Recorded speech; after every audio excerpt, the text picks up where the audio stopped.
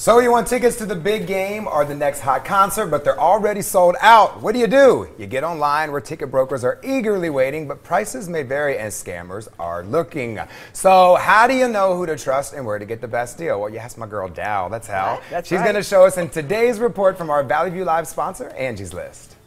The internet has made it simple to find tickets to that sold out show or ball game.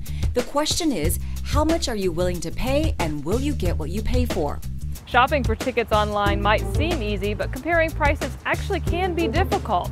Because when you're looking at prices, you may not realize the final price till you go through the checkout funnel with added fees. That's a common tactic for many virtual brokers, which don't stock tickets themselves. They resell someone else's tickets and make their money with additional charges.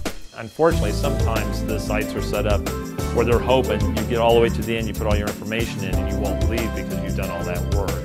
Mike Peduto has been brokering tickets for 30 years, and he knows there are scammers out there taking some of his business. He urges people to do their research and steer clear of any site that demands payment by wire transfer or avoids speaking directly with you. If you can't reach them, especially by phone, um, then that, that's pretty much a giveaway that they're not going to have the same level of customer service as somebody local. Look for someone that's a member of the National Association of Ticket Brokers, which holds companies to a strict code of conduct and offers some recourse if something goes wrong. Peduto says a good broker can offer insights on seats and venues you might not know, and that sometimes you can find better deals by waiting to get your tickets until just a couple of days before the event. I would say more often than not, the prices come down as you get closer. One thing I would say, if you, if you only need two tickets, waiting till last minute, you can sometimes save some money.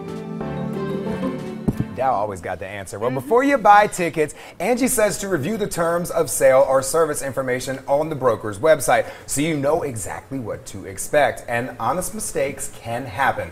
A broker could send you the wrong ticket, so make sure you always check them right away. Do not wait until the day of the event. You might be sorry. Angie's List is a proud sponsor of Valley View Live.